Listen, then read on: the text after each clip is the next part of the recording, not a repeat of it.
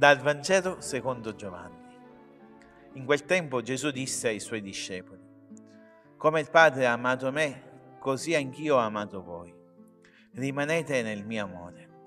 Se osserverete i miei comandamenti, rimarrete nel mio amore. Come io ho osservato i comandamenti del Padre mio e rimango nel suo amore. Vi ho detto queste cose perché la mia gioia sia in voi e la vostra gioia sia piena. Questo è il mio comandamento che vi amiate gli uni gli altri come io ho amato voi. Nessuno ha un amore più grande di questo, dare la sua vita per i propri amici. Voi siete miei amici se fate ciò che io vi comando. Non vi chiamo più servi ma amici, perché il servo non sa quello che fa il suo padrone, ma vi ho chiamato amici perché tutto quello che io ho udito dal Padre mio l'ho fatto conoscere a voi. Non voi avete scelto me, ma io ho scelto voi e vi, vi ho costituiti, perché andiate, portiate frutto e il vostro frutto rimanga.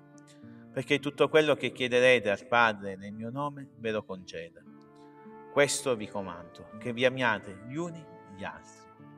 Parola del Signore.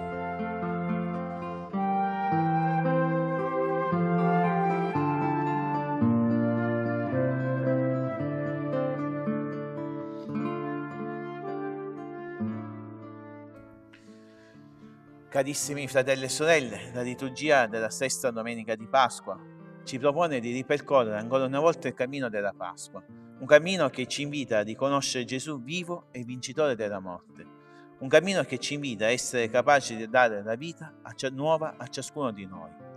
Il Signore risorto che appare ai discepoli riporta a ricordare tutto quello che lui aveva detto e fatto prima di dare la sua vita e alla luce della sua morte, alla luce della sua risurrezione, le sue parole assumono un significato nuovo, uno spessore nuovo, uno spessore che parla ancora fino ad arrivare a ciascuno di noi.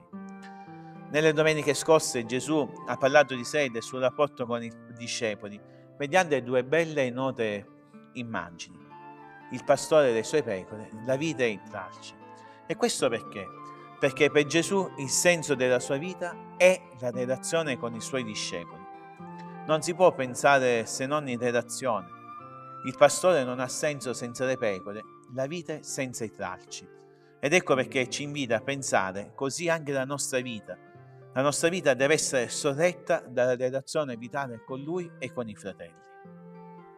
Oggi, continuando il discorso della vita, Gesù lascia da parte l'immagine e va al cuore della rivelazione di Dio, che non consiste in una comunicazione di idee, e neanche di norme, ma bensì in una relazione di amore.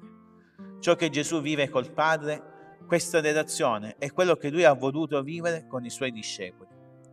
Prima di lasciare i suoi discepoli, egli li esorta a rimanere uniti in questa relazione e tutto ciò corrisponde con la loro vita a un concreto dono di amore, un amore che loro hanno ricevuto. Questa relazione di amore ha un'unica condizione, compiere i comandamenti. Come Gesù, obbedendo al Padre, ha fatto esperienza del suo amore, così invita i suoi ad obbedire al suo comandamento, amare i fratelli come Gesù ha amato noi. La condizione per continuare a ricevere il dono dell'amore di Dio è far scorrere questo dono di amore tra di noi e non chiuderci agli altri. Questo progetto di amore con l'umanità viene contemplato anche nella seconda lettura da San Giovanni racchiuso nella brevissima e famosissima frase Dio è amore. È Dio che ha preso l'iniziativa, è stato Lui prima ad amare, lo ha fatto anche quando l'umanità era lontana, quando amare significava anche perdonare il rifiuto, quando amare significava perdonare il peccato. Questa è la strada per conoscere Dio, amare. Sappiamo che siamo Suoi figli se, se solo se siamo capaci di amare. Non c'è bisogno di andare chissà dove di prendersi cura chissà di chi. Basta amare chi ci sta vicino. Noi conosciamo bene questo cuore della rivelazione cristiana, conosciamo bene questo amore, perché è la condizione che Gesù ci chiede ed è la promessa legata all'obbedienza. E allora dobbiamo fare due cose. Fermiamoci e chiediamoci semplicemente, nella mia vocazione, ogni giorno, giorno per giorno, come sto amando chi mi sta vicino lo sto amando come Gesù ha amato me? O c'è qualche altro passo, qualche gesto concreto qualche scelta della mia vita importante che mi permette di camminare nella direzione che Gesù mi insegna e ci ha insegnato. Se ciascuno di noi è incamminato su questa strada, allora è possibile anche porsi queste domande come comunità, come Chiesa.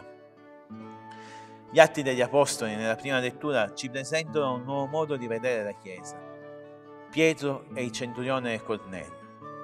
Dio manda dei messaggeri sia al centurione per esortarlo a invitare Pietro, sia Pietro per accettare l'invito del centurione. Il centurione era un pagano, un uomo non dalla fede ebraica, giudea. Ed ecco che Pietro arriva in questa casa, accetta l'invito, inizia ad annunciare Gesù Cristo. E cosa accade?